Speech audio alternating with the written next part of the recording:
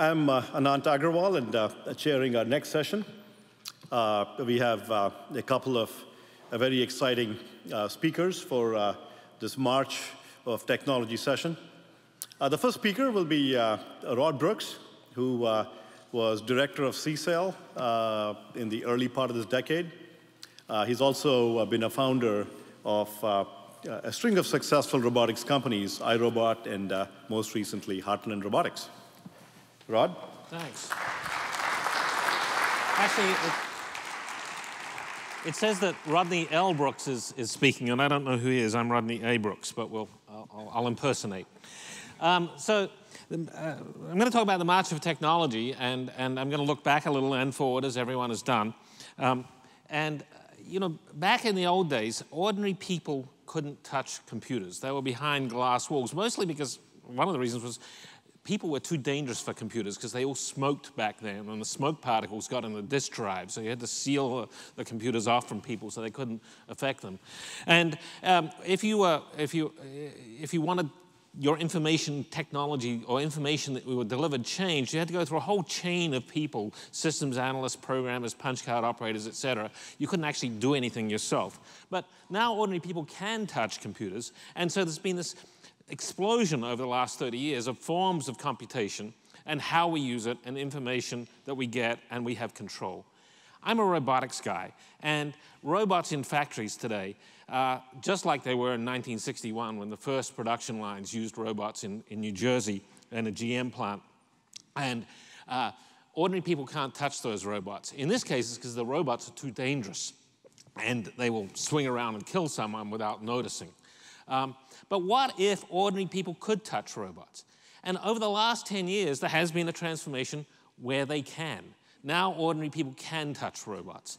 And up in the bottom, top left side is, is a, a surgeon using an intuitive surgical uh, Da Vinci system to operate remotely inside the patient. When the surgeon moves their fingers maybe a millimeter, the robot moves a fifth of a millimeter inside. So they can do much more delicate surgery, and the incision is much smaller you might question whether a surgeon is an ordinary person, and they take that to mean something different than the rest of us when we say that. Um, but then, then there are home robots, uh, and I'm going to talk about numbers in a minute on the top right. Lots of, lots of robots now in people's homes. There weren't any 10 years ago. And on the bottom, there's been a transformation of US military over the last 10 years of not only air vehicles, unmanned uh, air vehicles, but also ground robots. And we see various things on the bottom left, a robot in Iraq uh, for uh, improvised explosive device um, remediation, a robot sniffing into, in the, into a, a, trunk of a car looking for a bomb. In the middle on the bottom there, you see a guy who came in with his PackBot to a depot in Iraq that had been blown up. He'd been out, uh, you know, defusing bombs. Um, and you see on the, on the, that, oh, well, so he came in, you, the robot's in a box in pieces. He I, I, can you fix Scooby? And uh, the, the depot manager said, no, but we can give you a new robot. No, no, I don't want a new robot. I want Scooby. Scooby and I have been through a lot together. And you see on the back of Scooby's head there, um, if I can make this work, I can't make that work. The back of, there's a separate pointer. Okay, on the back of Scooby's head, you see uh, one vehicle-based IED, 17 improvised explosive devices, and one unexploded ordnance before Scooby blew up. Um, and now we see uh, the unmanned vehicles getting into the uh, infantry. This is uh, this just started uh, a program of record of uh, putting one robot with every troop of nine soldiers in the, in the US Army. So there's been a, a, real change over the last 10 years. Many of these robots are from one of my companies, but not all of them, where the ground robots in the US military have gone from zero to over 9,000 ground robots, and robots in people's homes from zero to over 6 million robots in people's homes. That's happened just in, since uh, the middle of 2002. And why has that happened? Uh, why do we have all these robots and all these robot forms? Oh, before I, I say that, I want to just say one thing, because this is MIT.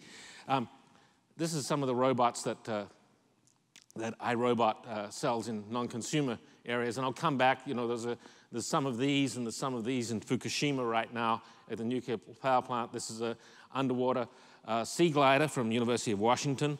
Uh, from Ed Laza- where Ed Lazowska is, and these were out in the uh, Gulf um, looking uh, at the oil spill last year. So not just military applications, but also uh, other sorts of applications. But I, I, I meant to remember up here, UROPs, one of the great things about MIT is the undergraduate research opportunities program with undergraduates working with faculty. And this company, iRobot, was started by uh, two UROPs and me, a faculty member, and we went out and started the company together. Yesterday we had uh, Tom Leighton talking about Akamai. Again, UROPS were, in, were really part of that whole process of starting the company. Uh, and so that's one of the great things about MIT. Uh, uh, Colin Angle, who's the CEO of iRobot, likes to point out that he's only ever had two jobs with a regular paycheck. One as camp counselor and one as CEO of a company. Um, Anyway, why have things taken off? Things have taken off because computation and sensors have gotten exponentially cheaper for the last 50 years. We've heard that exponential again and again. I'm going to come back to that in a second because there's a, some key uh, points there that, that I, I, think we, that, that explain what's happened a little more. Uh, research in computer vision and, and things like simultaneous localization and mapping have made major strides in the last 10 years. A lot of work, that work has been done at MIT, but also Stanford, other places. And for certain tasks, robots have passed a usability threshold that makes them useful to untrained people. Now, oops, you do have to, you have to press this hard or long, I'm not sure.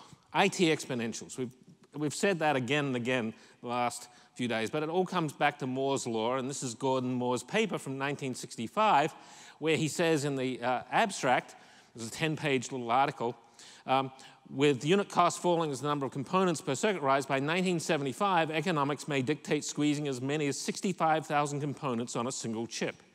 And in the abstract, the second paragraph there, he says this is going to lead to, this is 1965, remember, when a computer cost a million dollars at least and was filling a room, uh, home computers, automatic controls for automobiles, and if anyone's you know, used a 1965 or previous automobile, you know there weren't much electronics in them back then, and best of all, personal portable communications equipment. So he foresaw all that. Um, and there was a cartoon in the paper uh, with a, someone selling cosmetics right next to a handy home computer. Um, I asked Gordon in, in 2005 at a, a celebration, a 40 year celebration of this paper, whether he'd had anything to do with that cartoon. He said, no, not at all. It just showed up in the article. My guess is the cartoonist was sort of making fun of the idea of having home computers, uh, but it turns out to be what, what really happened. But this is, this is um, Gordon's key graph. He's only got four data points. This is the null data point.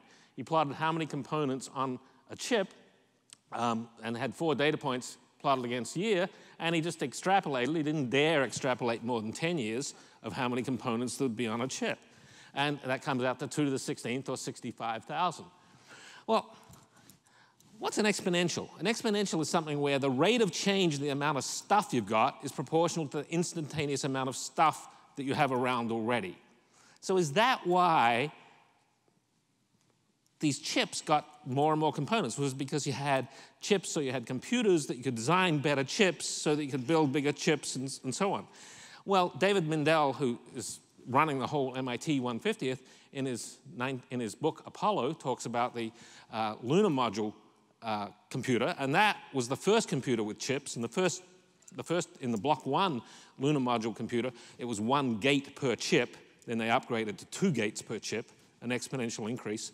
Uh, but uh, that didn't come around until 1968.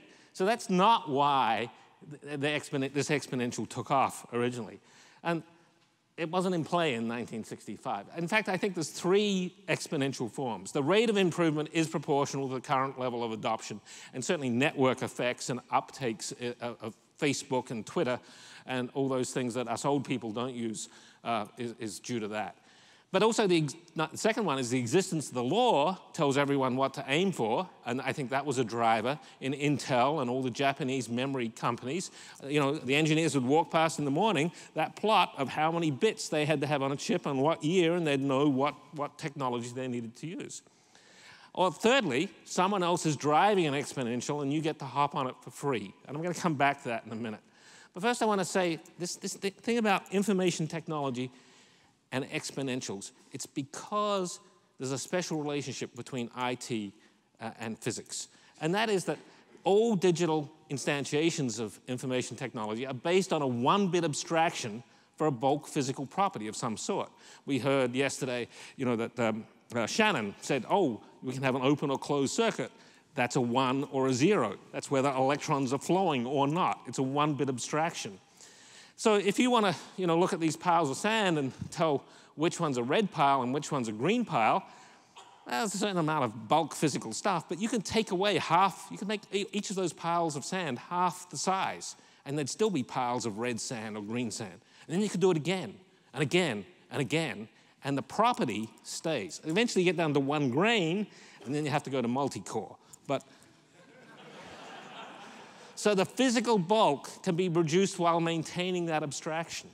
That's the important thing about information technology and why you can get exponentials. And um, Suzanne was, was talking about some of the, the, the new technologies, you know, energy, uh, uh, biotech, et cetera, and, and the, being very capital intensive. I think the Sand Hill Road VCs got spoiled by this, and they saw, thought that any new technology would go exponential. But it doesn't have the same relationship in energy, for instance.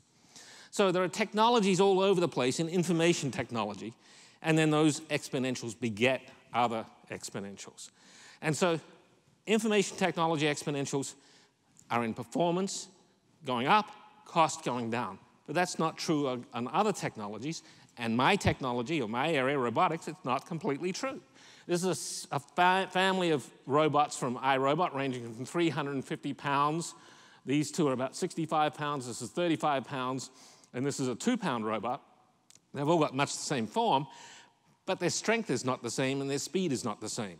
If you've got a mechanical arm and you cut off half of it, it gets weaker. It can't compute holding stuff up as well uh, when you get rid of the physical bulk. So there's a, a, a, there's a relationship between mechanical performance and the physical bulk, which is not there in IT. Likewise in price. Uh, one of my master students a few years ago went around the lab and found all the old McMaster, McMaster-Carr catalogs that were lying around. And he found five components that we'd been using in the lab for 13 years and looked at their price and then normalized for the consumer price index. And they didn't go down exponentially over those 13 years. They only just went down a few percent. So cost of mechanical systems, likewise, doesn't go down exponentially. Cost of energy systems doesn't go down exponentially. But if someone else is driving an exponential, maybe you can use it for free. And that's the good news for robotics. The IT exponentials are good for us. They've been very, very good to robotics over the last few years. And exponentials help robots in all sorts of places, cameras, vision, machine learning, training corpus size, being able to go on the web and get lots of examples and then train up your learning algorithms, et cetera, and even the number of cores on a chip and we don't necessarily in robotics have to be quite as smart about having a general programming methodology because we can dedicate one core to, use, to, to processing sound and one core to, to processing the left image and one core to processing the right image, and we don't have to have parallel programs at such fine grain. But exponentials do impact robots. Um, in 1979, when I was a grad student at Stanford, this is the old Stanford Artificial Intelligence Lab, Hans Moravec had this project with a robot called the Cart, and I was his junior gopher. And about midnight, when most people had gone home um, and the uh, DEC 10 mainframe was available, we'd set up this room and set the robot going. The flashes are because this is being recorded on 16 millimeter film and the camera's stopping.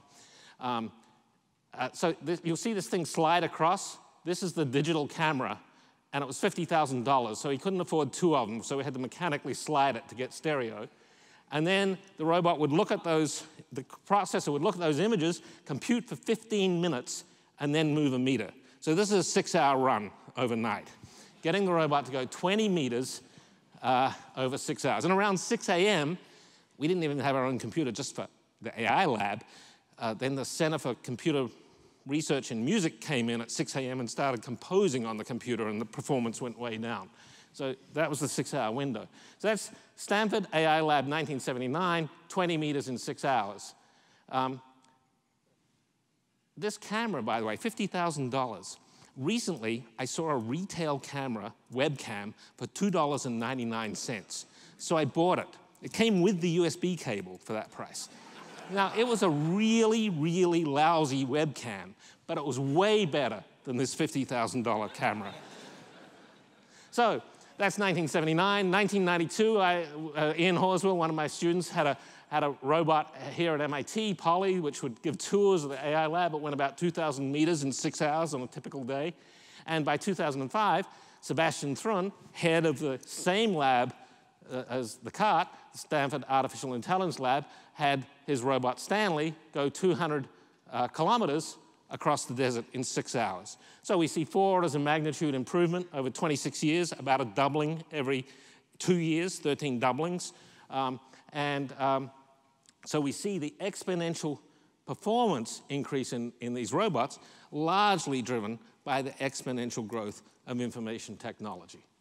And a few clever algorithms here and there. I claim the world needs robots, um, which is convenient since I build them.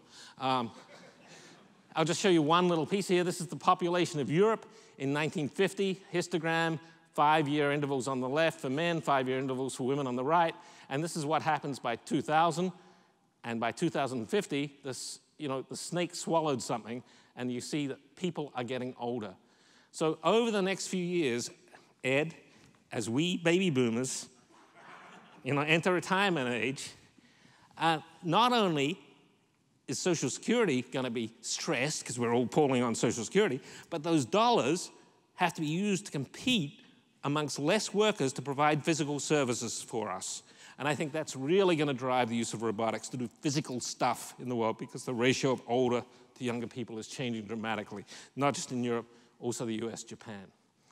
I just want to show some, finish with a few clips of practical research in robots from some of my students over the last few years. These are my PhD students, but many uh, bachelor's, master's, and postdocs have also been involved, and show you the sorts of things that robots can do today.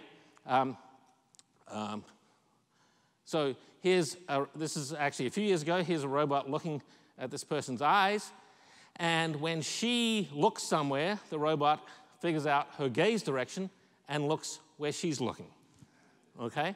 Very different from a current industrial robot, aware of the person, aware of how they're interacting. And if I was going to show Ed how to do something, I'd be looking at his eyes all the time to see whether he was paying attention to the, to the right thing, and I'd be looking at his gaze direction. We use gaze direction as a, as a cue.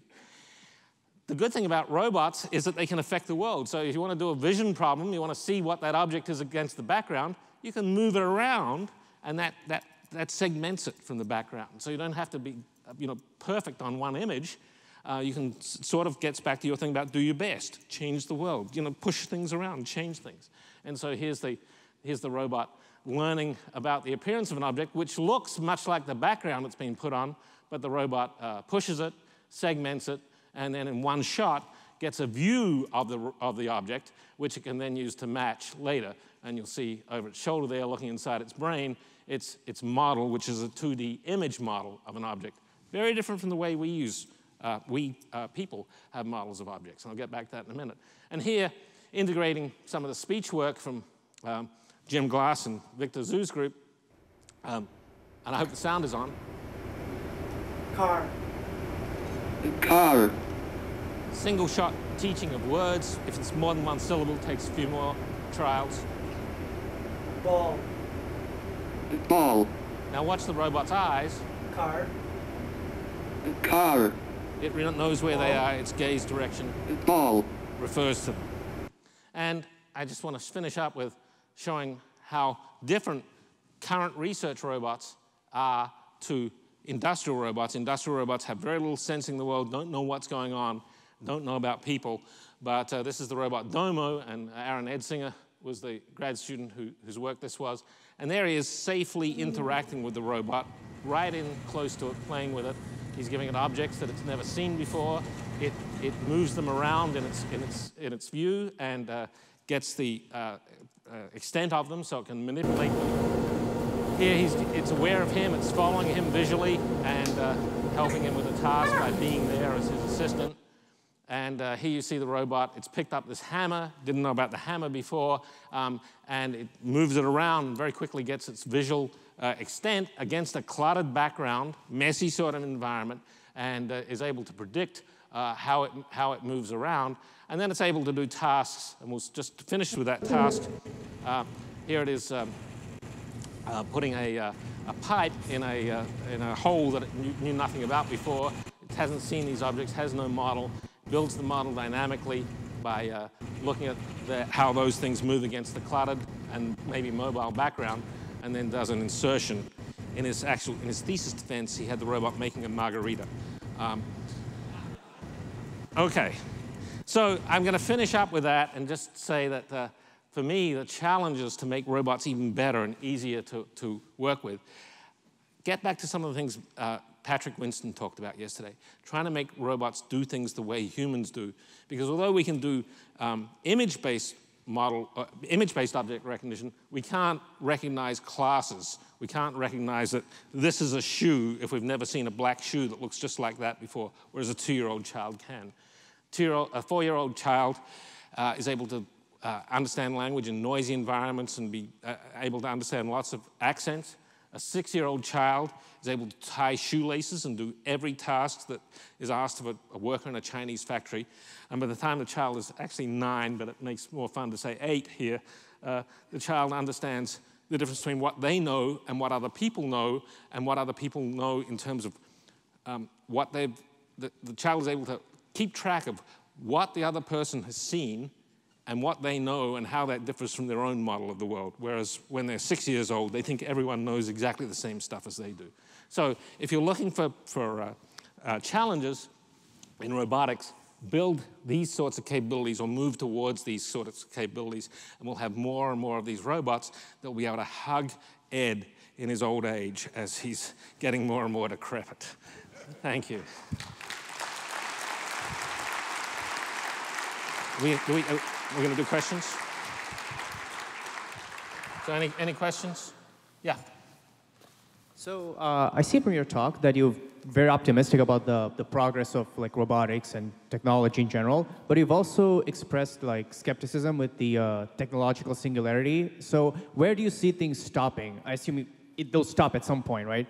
Well, I, I, think, I think Butler was right in his, in his talk this morning that if you're a materialist, um, you have to believe that uploading is, is, is technologically possible, but I think it's, it's way too early for us to worry about that. I, I think that's, that's sort of a, you know, a, a, bunch of technology people looking for eternal salvation without the inconvenience of having to believe in God.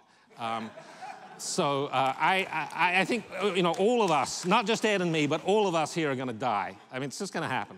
Sorry.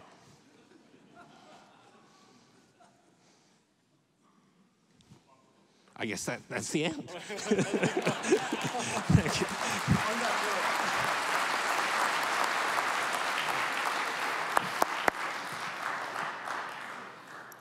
Uh, thank you, Rod.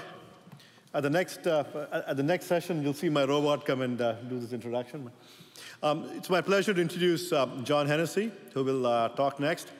Uh, John's the, the, president of Stanford although I'm uh, a little dubious about his taste in graduate students. Uh, I was one of his early students in the uh, late 80s.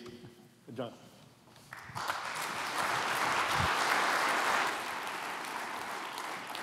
Th thank you, Anant, I guess. Uh, as somebody told me recently, um, of all the introductions I've ever had, that's the most recent. Okay, so uh, I, I, think, as is traditional in these sort of talks, I'm going to try to both take a look backward and then a look forward and talk about what the implications are. The March of Technology is indeed a good Uber title for this talk because it really is about the dramatic changes and about the inflection point that we've passed through and what some of those implications are. Let's face it, most of the world is not going to use computers the way those of us in my generation have used computers. Uh, I, I, started on actually paper tape and punch cards for a little while and then moved to time sharing. Um, but uh, most of that time with a computer that was at least on my desk and not physically movable. Uh, the next generation is going to be using these things to access the internet, and that's the way they're going to operate. We've already got this incredible inflection point coming in, in 2012. It may actually move up into 2011 because the rapid acceleration of tablets, and if you put tablets with smartphones, which I think is probably a reasonable thing to do, they're mobile devices, they're small, uh, then we may actually get the crossover in, in 2011.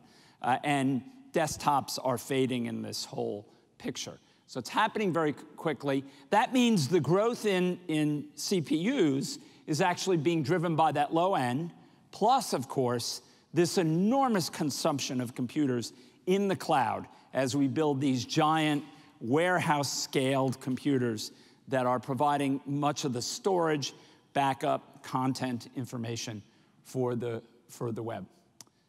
So, what happens now? Batteries become crucial. Energy becomes a key factor in determining how useful these devices are. And if you look at whether you look at a tablet or you look at a, um, a, a uh, cell phone, you quickly discover that energy becomes the limiting factor. How long does this last? I don't think. Certainly, you start using the web a lot on this, it doesn't last very long. And that's a, a key issue. Um, so, battery lifetime is crucial, which means energy consumption becomes a crucial metric. By the way, it does in the cloud too. If you look at the initial capital cost, this piece of it in red here is the cost of power and cooling. That's just capital cost. That's the infrastructure to bring up a large size cloud. If you then look at the overall operational cost, you see that power here, combined with the capital amortization of the infrastructure, is a significant piece of that puzzle. Uh, and any of anybody who's looked through the kinds of clouds that are being built by Google or Yahoo or others, the first thing you'll notice is they're not using the cutting edge fastest processor because as you'll see, the cutting edge fastest processor is a disproportionate power pig. It's energy inefficient. And I'll talk some about why that's the case. So, we're sort of back, we're in this age now where we're really back to the future. We rode Moore's Law. And computer architects, that's what I did for a living when I was doing that before I was um, a university president.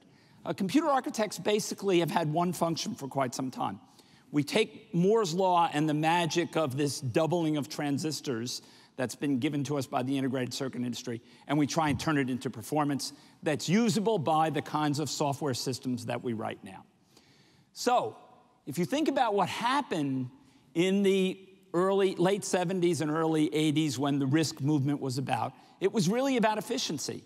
In the end, it was how do we take these transistors and use them effectively, given that we're going to be on a single chip? How does that reset the picture for how we build computers? That freed up by, by simplifying the instruction set um, without losing very much translational efficiency between the software systems. We picked up a lot of transistors that could then be used to do pipelining, caches, et cetera. Uh, and we gained runtime efficiency. I think early on people realized that um, if you could spend a little more time at compilation time and less at runtime, that that was a good trade-off for production-oriented environments. So what did we learn in the, in the 1980s?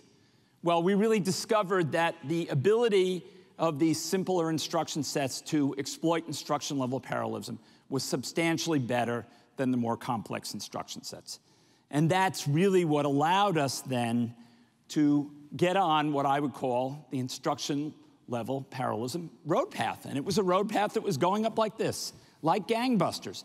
And every year we were just getting more instruction level parallelism, introducing new ideas to extract more of it um, and thereby being able to deliver lots of new performance without changing the software model.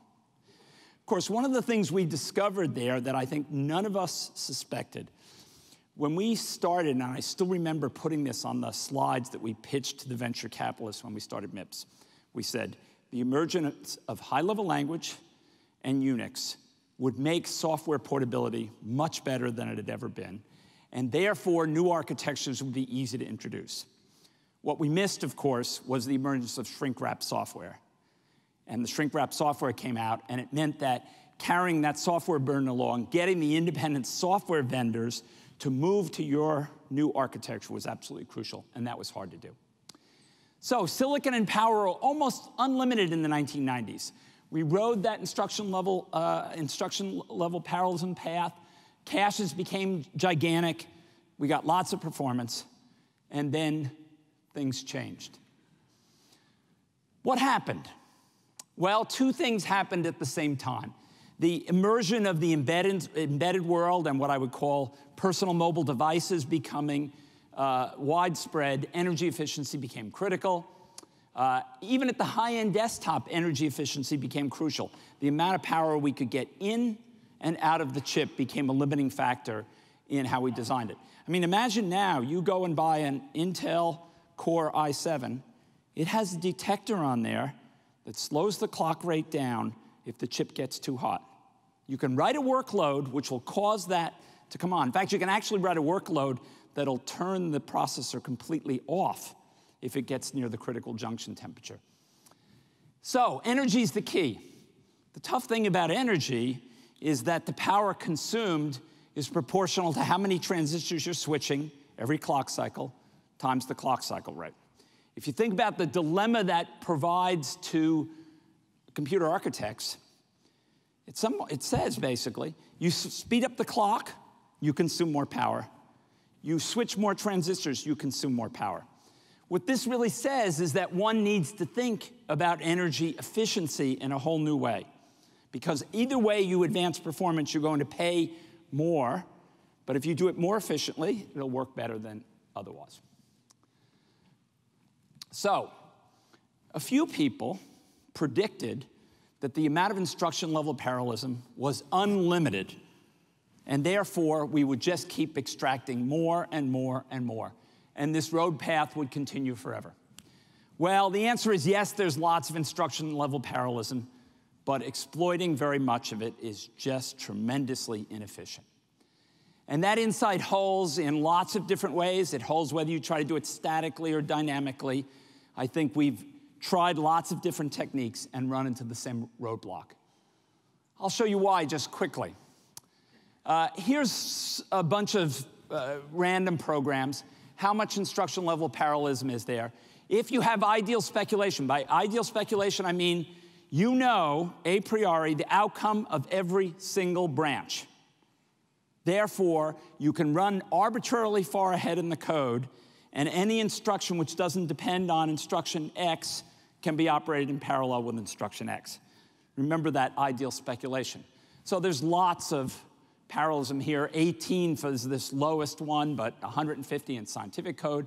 GCC, 55 instructions per clock. I mean, that's incredible. If we ever got there, uh, that's a factor of probably 20 better, between 20 and 30 better than we can actually do.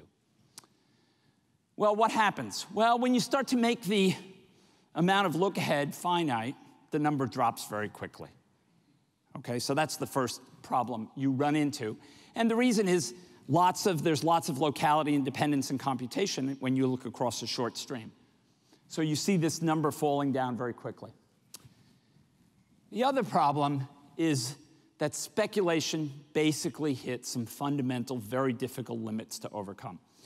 And this shows you interesting data just recently collected actually on a Intel i7 that shows you what fraction of the work, the instructions that actually get sent to the processor are actually wasted. And you see it's 25%, 30%, 20% here. Now remember, every instruction that gets wasted, you paid an energy cost to execute that instruction, essentially all of it, now you pay an energy cost to undo the effects of this instruction that you should not have done. And that's what happened. We basically, speculation just couldn't get good enough to overcome these kinds of limits. And of course, it's a probability thing. If you're, if you're 90% successful on the first branch and 90% on the second branch, then you're only 80% on getting both of them right. And that just overcomes the, the advantages that speculation have uh, has after a short amount of time. So, what happened? So, we started thinking about multi core and threads and switching to thread level parallelism as the key uh, issue. It has lots of advantages. It's an effective way to overcome the memory wall. Anant did a lot of work in this particular area um, early on using multi threading. Uh, we can exploit it in lots of ways, both through simultaneous multi-threading, multi-threading within a single core, as well as by going to multi-core. And Moore's law helps do, makes this easy. In fact, there was a great quote that somebody said at one conference. They said, um, multi-core makes Moore's law now the programmer's problem. It's not quite the right metaphor, but the metaphor was you now have to worry about getting performance efficiency. It's not the CPU designer's problem anymore. But the big questions are, um, can multi-threading and multi-core deliver more performance in an efficient fashion? So here is some fascinating data um, showing you the performance and energy efficiency for a simultaneous SMT, so simultaneous multi-threaded single core running with two threads versus running with one thread.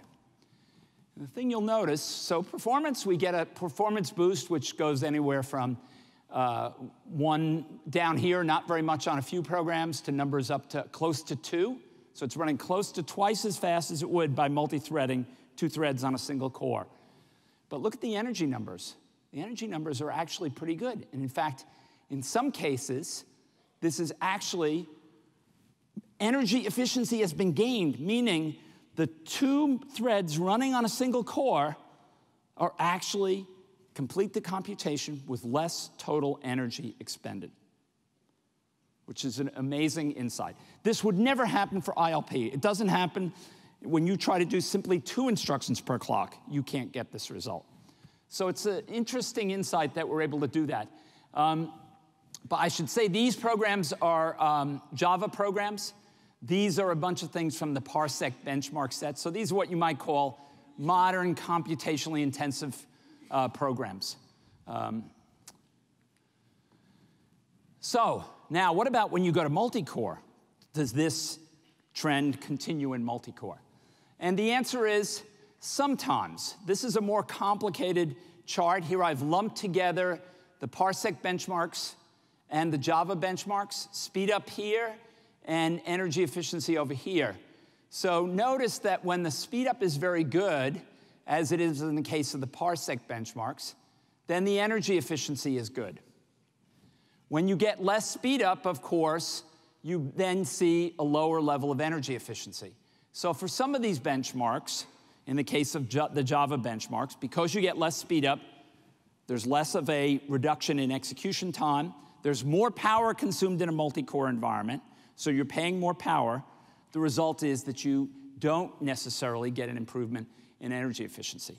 Nonetheless, most CPU designers would agree that compared to any alternative that's available in the instruction level parallelism benchmark uh, arena, any alternative, this is still better from an efficiency viewpoint.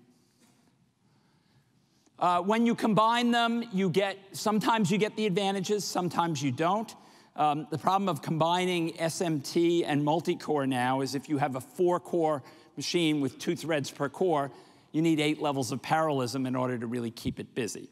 And if you don't have that, then of course you pay a higher penalty and you actually see this kind of fall off here when the speed up isn't very good as happens in these Java uh, benchmarks. So, where are we? We're in, a, we're in an interesting state now where there's um, essentially two divisions, two different ways to go forward with um, multi-core based designs.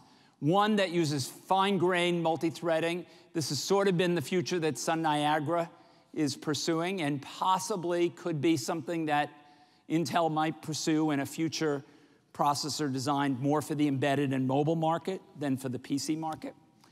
And we've got things like the Intel i7 and lots of processors that are over here that use some amount of speculation, multiple issues, three to four issues per clock, aggressive memory hierarchies, and tackle the problem that way. Scientific computing guys are off in a different realm. They're off trying to figure out what to do with GPUs. Um, and someday GPUs will be designed by CPU designers, and then maybe the problem will get fixed, but we're not there yet. So, couple uh, concluding thoughts about this. Um, we're moving in, the dire- in this direction. There's no going back. There's no other viable alternative on the horizon. We are going to have to accept the fact that if you want more performance, you're going to get it by more cores on a chip, and the software people are going to have to figure it out. Well, it's sort of back to the future. This is a wonderful quote that's in David Kuck's oral history talking about the ILLIAC 4. Uh, on the ILLIAC 4, he was not only the head software person, he was the software person on the ILLIAC 4 responsible for the system software. So you see what happened. A bunch of hardware designers said, well, if we build the hardware, the software will work. And of course, that's not what happened. Uh, it turned out to be a very difficult machine to program, even, even for a, a narrow range of applications. It was hard to use, although it did work quite well for a subset of those. But it's a reminder that that interaction between software and hardware is a fundamental part of the problem. So, going back to some of the points that were made earlier, and I absolutely agree with what uh, Barbara Liskov said earlier. Programming multiple processors in ways that are not impossibly difficult, which today one can debate whether they're impossibly difficult, but they're close. It's close. Once somebody told me, it's not hard to program multiprocessors, and I said, it's not hard if I don't care about correctness and I don't care about performance. Programming multiple processors in ways that are not impossibly difficult retains some degree of portability across architectures so that we don't have to turn every single programmer into a hardware architecture expert, understanding things like the size of caches, levels at which coherency are done, multiple levels of interconnect and how they operate um, which today, if you really want to push the performance, those are all things you have to become aware of. Have some flexibility across processor count variation. So today we have a dilemma that many pieces of code work fine if they're written for four threads, um, but work marginally on eight and don't work on 16. We need to do a better job of thinking about how we get scalability and write our code and of course achieve efficiency because in the end, the reason I was willing to use some kind of multiprocessor was to get more performance, and I have to get that efficiency. I think this is, in the computer systems area, one of the truly most difficult problems. We're more than a decade behind, and we're more than a decade behind because everybody was dreaming that that ILP roadmap would continue into the far future, and we wouldn't have to solve this problem uh, unfortunately, for better or worse, um, the investments were not made in, in really trying to focus on this problem. Uh, I agree with, I think uh, Barbara hinted at earlier, there likely is no silver bullet here. There's no one thing that's going to crisply solve the problem.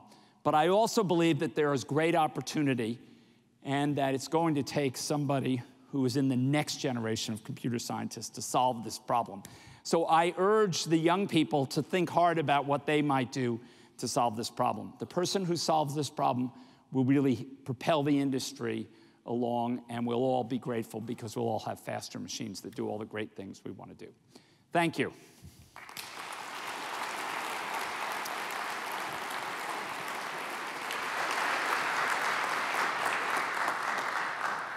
We have time for, uh, for a couple of questions. Please come forward to the mics if you can.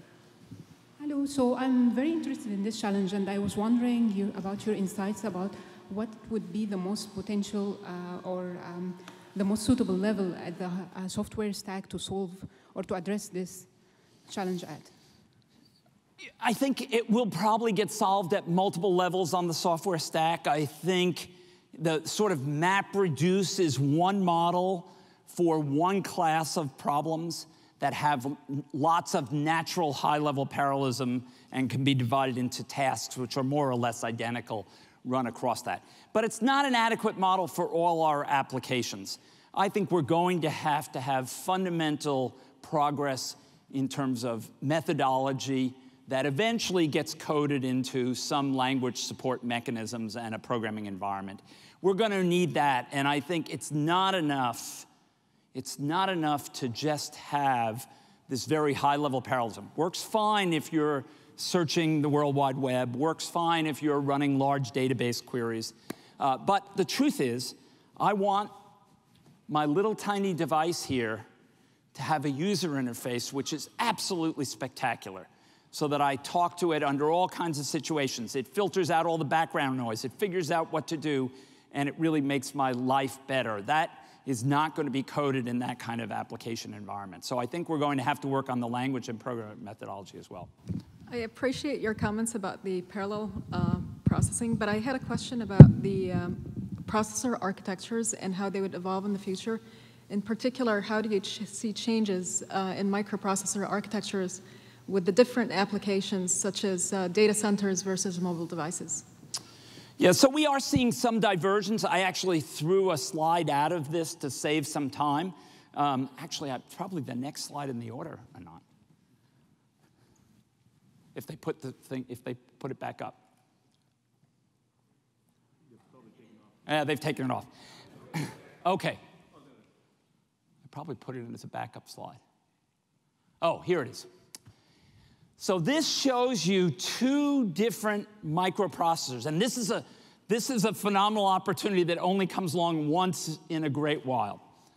Two processors, same instruction set architecture, same compiler, same implementation technology. So now we get to compare two different organizational approaches to performance. Okay, one is, the, is Intel's high-end i7, the other is the uh, Atom 230, which is in a lot of the very low end um, netbooks. Okay? So look at this. So you, look at the incredible performance advantage the i7 has. Four, at a minimum, three or four times, up to seven, eight times. So you say, it's that much faster. It must be a much better processor. Well, not if your metric is energy. It's worse by about a factor of two in terms of energy consumption. So I think we are seeing, it, when you see this data, it, it immediately tells you there may be a split in how we design things for the very low end, where we really care about energy, and some things where we care a, a bit about performance and we're willing to give up on energy efficiency in order to get that performance. And that split may be coming, it just may be unavoidable. So watt meters are coming into use as we try to save energy at home. Uh, Correct. But I, as a software engineer, uh, have to run a separate profiler to figure out where my time is being wasted, and I have almost no introspection as to where my power is being wasted. Yep. How can we instrument uh, the world in such a way that now that speed is my problem as a software engineer, that I have the tools to attack it? Yeah, that's a very good question.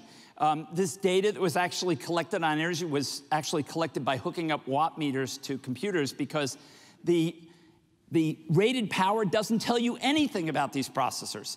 Um, because the max power is not equal to the thermal design power, is not equal to the actual power consumption. They're all different measurements. So in order to figure out how much power is actually being consumed, you have to hook up a watt meter right now.